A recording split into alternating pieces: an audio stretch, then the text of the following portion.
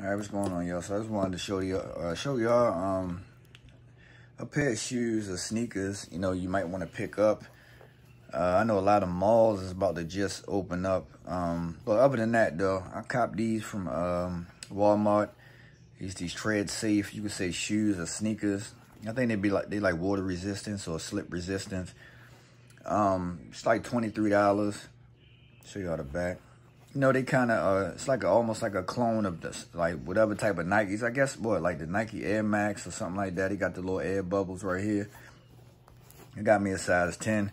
It's real comfortable in, um, you know, in, in the inside too.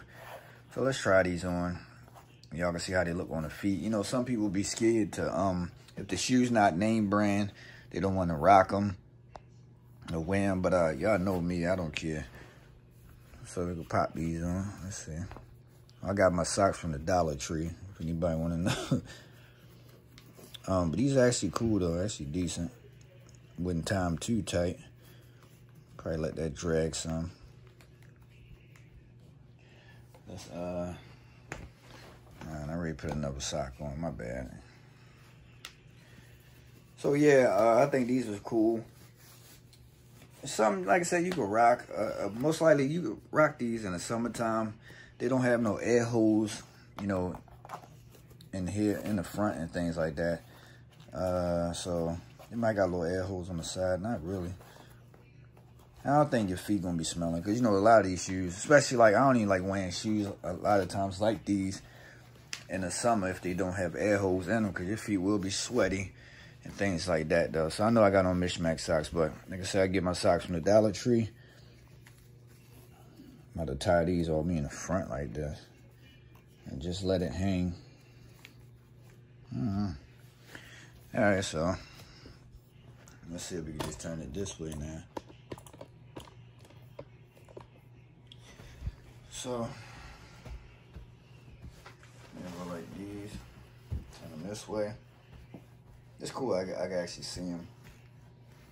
So yeah, they feel comfortable. They nice. Um, a lot of these shoes at Walmart, a lot of them don't come in halves. Maybe, um, yeah, 10 is right on the dot on these ones. So y'all tell me what y'all think about these. The back.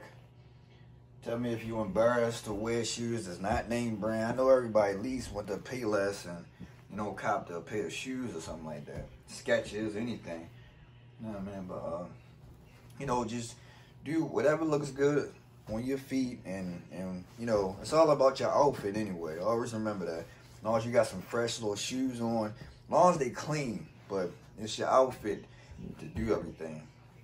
So I asked your boy To Da Lute. Like I said, about $23. They TredSafe uh, shoes or sneakers at uh, Walmart. Go cop you a pair these nice, man. Can't beat it though. Yeah, man. Hut, hut, hut.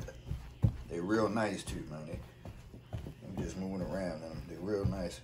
I, I really I don't know too much about like the creasing overdue time, but other than that, they cool. It's your boy Tutter. Peace.